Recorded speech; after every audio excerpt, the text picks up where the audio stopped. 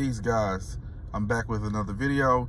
Today we're talking about DoorDash. DoorDash is a joke. It's hilarious. I did a delivery the other day doing DoorDash, and it was to a pizza shop that normally I drive past it because they they don't really get a lot of business, or maybe they don't do a lot of business with DoorDash.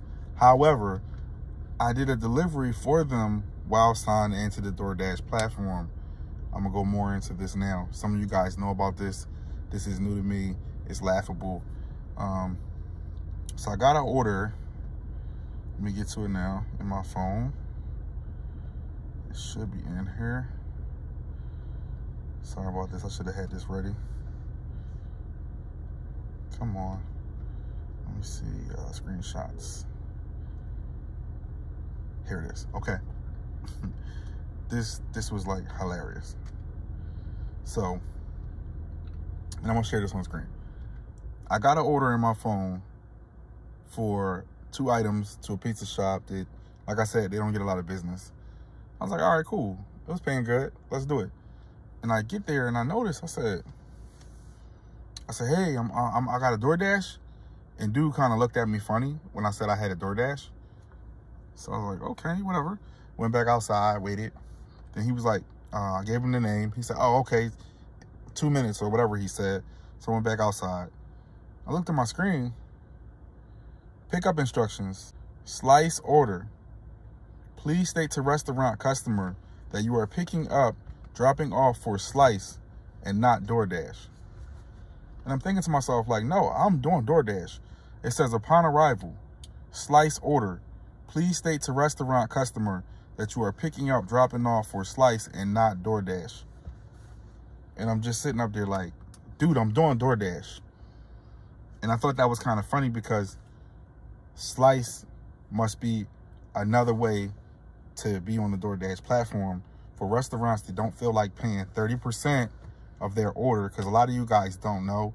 Let me break this down, right? Why DoorDash is a scam. Because DoorDash keeps all of the money. When you order something from any restaurant that you use, these restaurants pay 30% of the ticket to have DoorDash service them. So DoorDash is just a data company. DoorDash is not a delivery company. It's just a data company. So basically, they are just using an algorithm to see what the closest driver is and pairing that driver to that delivery.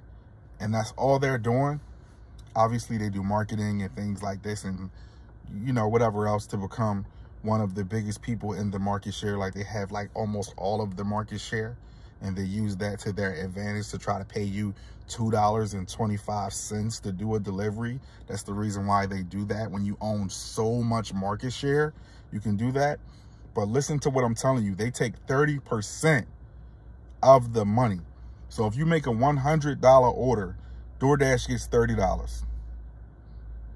$70 are left out of that $70, the food vendor had to make food, had to pay someone to make the food, right? So they had to buy food. The food vendor had to buy some food and they had to pay someone or people to make the food. And they paid DoorDash 30%. And the driver has to get something, which DoorDash tries to give us $2.25 or whatever. They got these really small base rates but I'm going to break it down to you again. A $100 order, DoorDash is taking $30.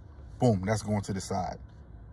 The driver has to fend for himself to make his little five or six dollars or whatever he makes for this order that's going 15 miles this way, the other direction that he's not even going in to make some money.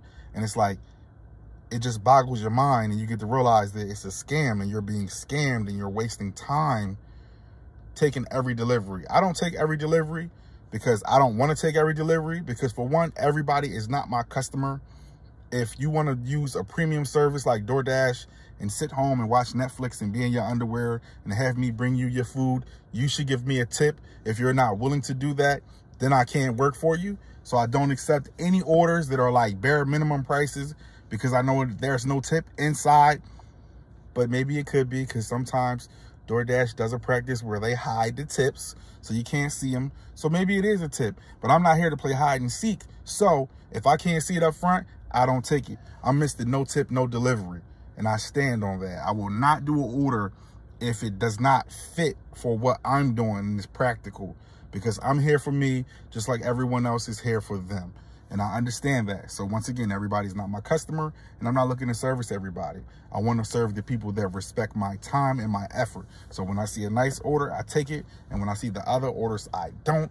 But saying all of that to say, there are so many practices by DoorDash that are just sketchy. It's not even funny.